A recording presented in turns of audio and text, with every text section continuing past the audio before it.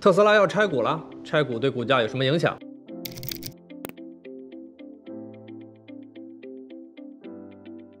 大家好，欢迎收看 Go Markets 热点话题解析，我是 Rick。最近啊，特斯拉传出要拆股的消息，那拆股对特斯拉的股价会有怎样的影响？我们今天就来看一看这个问题。昨天啊，特斯拉因为拆股的消息大涨了百分之八，在连续八个交易日的上涨之后，重新站上了一千美元的大关。其实啊，要想知道拆股对一个公司的股价有何影响，那我们就要先了解为什么公司要进行拆股。那在这里啊，先跟大家讲个笑话。那有一天啊，小张下班回家的路上，准备买一张披萨当做晚餐。取餐的时候，店员问他说：“你是想要切成四块呢，还是想切成八块？”那小张说啊，那还是切成四块吧，少吃一点。我最近在减肥。那其实啊，不管切成几块，小张呢还是吃到了一样的披萨。而这个比喻啊，其实就很好的解释了什么是拆股。那这款披萨就好比是一家公司的市值，披萨的片数就好比是流通股的大小，披萨越大，就代表着这个公司的市值就越大。那即便是披萨的数变多了，每一块看起来披萨比较小一点，可是披萨的总量还是一样的。那当我们持有一家股票的时候，我们其实买入的是一整张披萨。只有公司的市值增长，也就是整体增长，整个披萨都在变大的时候，手里的股票才会变得更值钱。所以啊，单纯的拆股或者单纯的合并股票，并不会对公司的市值产生影响。那既然拆股不会影响公司的市值，为什么有的公司还要进行拆股呢？拆股的第一个好处啊，就是可以满足大多数投资者对于低价的心理偏好。大部分的人啊，发现股价变得便宜了，会更愿意买这家公司的股票。比如说啊，特斯拉之前的股价只有一百多的时候，很多人没有买，但是现在涨到了一千多，那这个时候啊，还没有上车的朋友，如果说在一千多的价位再次买入，心理上肯定会觉得不舒服，因为当时一百多的价格的时候，并没有进行操作，所以啊，我们会一直因为当时没有买进而后悔。那如果说股价突然间又回到了一百多，那这个时候再去买入，心理上会更好接受一些。并且啊，买入的人也会更多，而买入的人多了，新投入的资金就会变多，股价自然而然也会得到抬升。这也是很多公司拆股的主要原因。正因为这个原因呢，拆股本身并不会对公司的市值直接造成影响，但是啊，却会给投资人的心理造成很大的影响，并且影响公司的市值。如果说拆股既能增加股票的流动性，又能吸引更多的投资者入场，那么公司为什么会选择合股呢？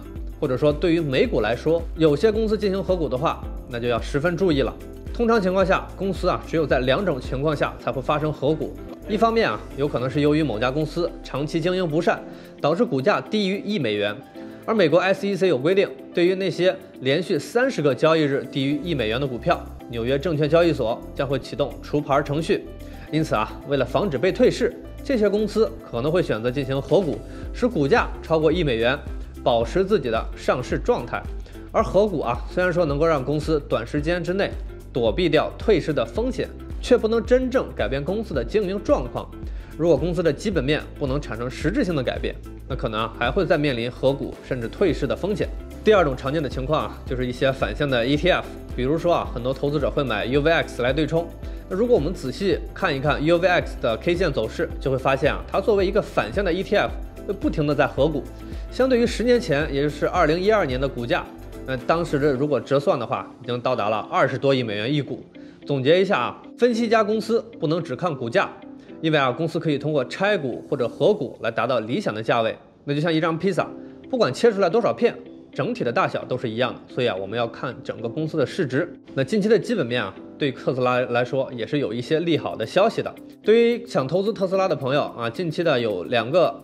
基本面的消息，一个利好，一个利空。那利好特斯拉的是呢，美国公路局恢复了一项政策，对于燃烧效率未达标的汽车企业处以高额罚款。这里啊涉及一项碳积分的事情，目的就是要降低碳排放，推动传统汽车的转型。传统汽车燃烧化石燃料会产生碳排放，那需要自己制造电动车来抵消碳排放，或者说啊也可以去购买碳积分，要不然就要罚款了。那因为特斯拉只生产电动车，所以说啊就会有大量的碳积分的剩余，它可以将这些碳积分转卖给传统车企。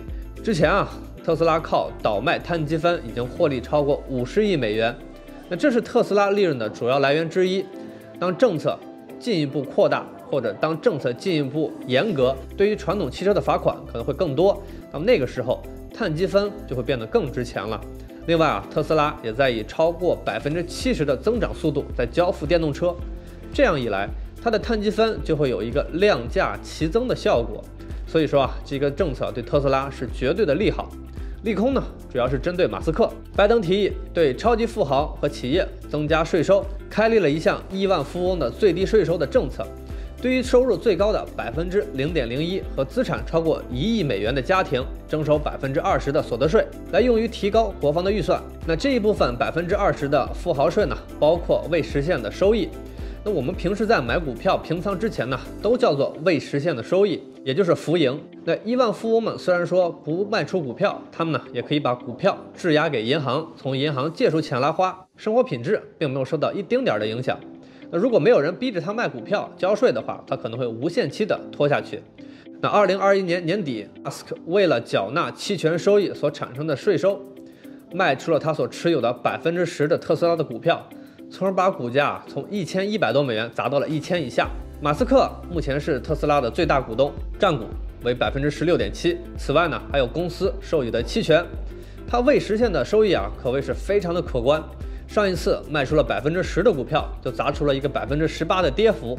那如果再次征税，那马斯克为了交税，将会卖出更多的股票，对股价的影响也是非常大的。如果您喜欢我们的视频，请记得。点赞、评论以及转发，感谢您的收看，我们下期再见。